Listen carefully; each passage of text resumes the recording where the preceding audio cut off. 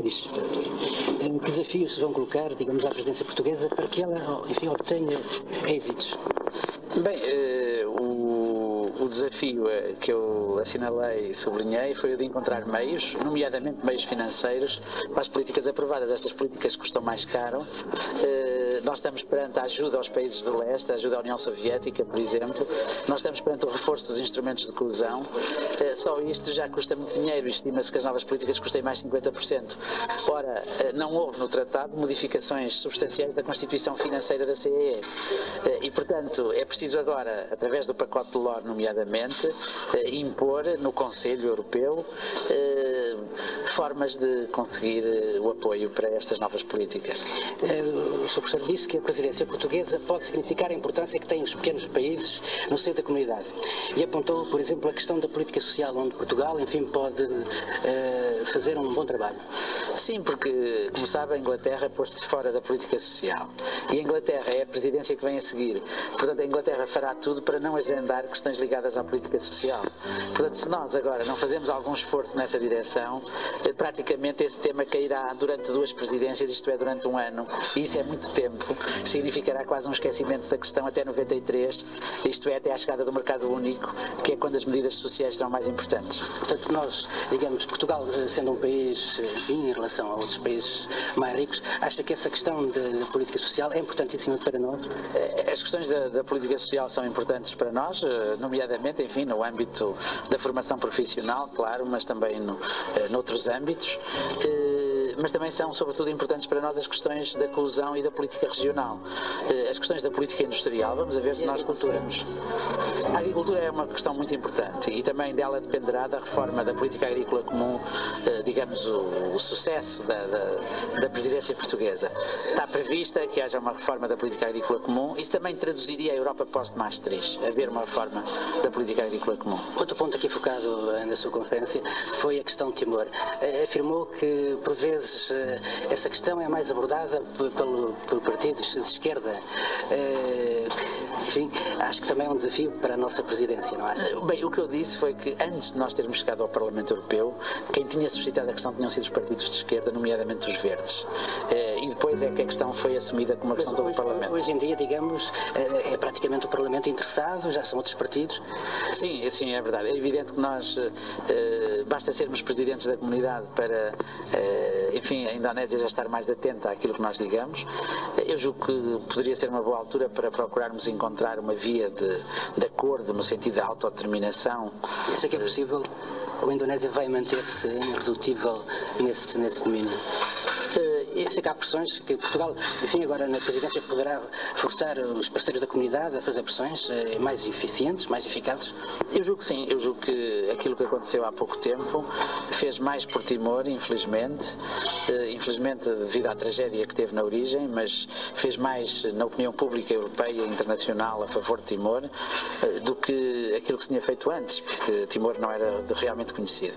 É claro que esta questão não é fácil e o fator principal de uma mudança seria uma mudança política interna na própria Indonésia.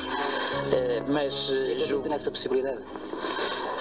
Eu não conheço o suficiente a política indonésia para saber.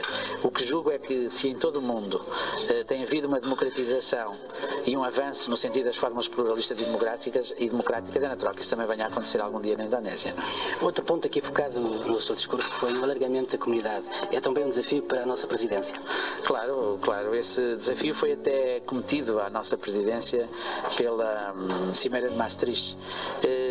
A, a comunidade não pode ser uma entidade egoísta, é claro, não se pode alargar uh, de uma vez, uh, mas agora tem condições claras. Por exemplo, a Suécia, se quiser entrar, tem que adotar, aceitar uma política de defesa comum. Isto, é bom que isto tenha sido feito antes de haver qualquer novo alargamento. A Áustria era também um país neutral, agora tem que aceitar uma política de defesa comum. isto é positivo. que outra utilidade não tivesse a ideia de política de defesa comum tem esta. Em relação à questão da defesa, diz que a Europa ainda não se afirmou como uma terceira potência. Sim, eh, embora também não fosse esse o objetivo. Eu acho que a Europa não pode prescindir das armas nucleares eh, dos que os americanos ainda têm na Europa e sem as quais a ameaça sobre a Europa seria muito grande. Eh, Hum, mas realmente a Europa não é uma força autónoma, não é desse ponto de vista. É? Digamos que os países da ex-União Soviética têm mais poder do que a Europa no seu conjunto. Não é? Só a Ucrânia tem ela própria tanto poder nuclear como a França, pelo menos. Portanto, a questão da, digamos, da força nuclear ou da força militar não pode ser descurada. Exatamente, exatamente. A Europa tem que aumentar sucessivamente a sua autonomia e os seus meios, porque para fazer a paz é preciso ter a capacidade de fazer a guerra. Infelizmente é este. Podemos estar prevenidos ainda, mesmo com o que se passou na, no leste, nomeadamente na, União na ex-União Soviética? Claro, eh, pode haver mais explosões, além daquela que é na Jugoslávia. Há, por exemplo, um território eh, na ex-União Soviética, eh, que é o território da antiga Prússia, da Prússia Oriental, que já foi alemão, que está entalado entre a Lituânia e a Polónia, que é ainda soviético, mas tem uma população de raiz germânica. Enfim, é, é, por exemplo, uma situação típica em que pode surgir um conflito. Há, por exemplo, outras questões, populações, por exemplo, húngaras que vivem na Roménia, enfim, há, há, em toda a zona das Balcãs eh, há conflitos de cultura variadíssimos.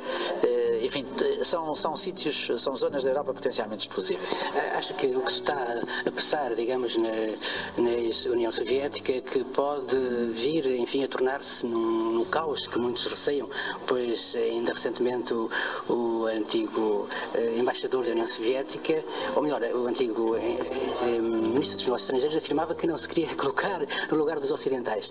Acha que, de facto, o Ocidente, perante aquilo, perante a evolução do que está a passar, eh, da, confusão, do caos que está a verificar na ex-União Soviética, que, que, realmente há... Há razões para preocupação, embora não para pânico. Apesar de tudo, eh, as últimas notícias eh, são as de que há um certo controle do aparelho militar através da Confederação dos Estados Independentes. Hum, vamos a ver se não se cair no caos total e na anarquia se houver controle do aparelho militar, que é o aspecto mais importante, e sobretudo o poderio nuclear, eh, há condições para eh, evitar o pior. Eu vou-lhe pegar aqui noutra afirmação sua. A integração da Alemanha foi, foi um incitamento à construção europeia. Talvez não tivesse havido mais triste sem eh, a reunificação da Alemanha. Gostaria que comentasse. a Alemanha dividida, percebe, tinha muitos complexos. No fundo, tinha a ideia de que tinha irmãos separados no leste, que não os podia abandonar e que pôr-se muito do lado ocidental talvez fosse abandonar o seu próprio leste. Ora, depois da reunificação, a Alemanha já não tinha razão para pensar isso e, portanto, pôde mais facilmente confiar-se aos seus aliados ocidentais eh, e mais facilmente integrar-se na CEE eh, e progredir para a União Política. Por outro lado, disse que o problema germânico desaparece quando eh, a Europa for toda una, mas para que isso aconteça, uma, uma das coisas é que a Europa possa prestar ajuda aos restantes países do leste, aos países do leste. É que a Europa não assuma que a responsabilidade da ajuda ao leste é um exclusivo da Alemanha, porque então estaria a lançar a Alemanha para leste, mas que é uma responsabilidade conjunta de todos os parceiros na Europa. Não? Outro tema, já agora a terminar, a importância dos partidos europeus no seio da comunidade. A questão de uma política uniforme para os diferentes partidos. Não uma política uniforme, uma lei. Uma, lei uniforme para as eleições para o Parlamento Europeu. Eh, isso são conclusões também que vêm em Maastricht eh, e, e mostram a importância que se quer dar à legitimação dos verdadeiros partidos europeus, portanto, daqueles que existem no Parlamento Europeu. Isso realmente, eh, as eleições, como sabe, já ocorrem no mesmo dia em toda a Europa, as eleições para o Parlamento Europeu.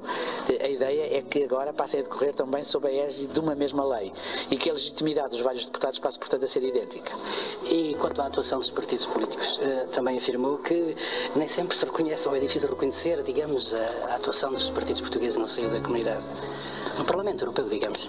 Não, porque lá não há partidos portugueses. Lá só há os partidos que estão lá sentados são uh, o PPE, o Partido Liberal. Bom, há deputados. Deputados há, claro. E deputados. quanto ao trabalho dos deputados portugueses? O trabalho é intenso. Eu, eu digo sem nenhuma uh, autolisonja, uh, inclusive é para os meus colegas, que os deputados portugueses, os meus colegas, são, são dos que trabalham mais no Parlamento. não está desiludido. aliás, focou aspectos também negativos. falou da burocracia de Bruxelas. Acha que essa burocracia pesa, pesa bastante?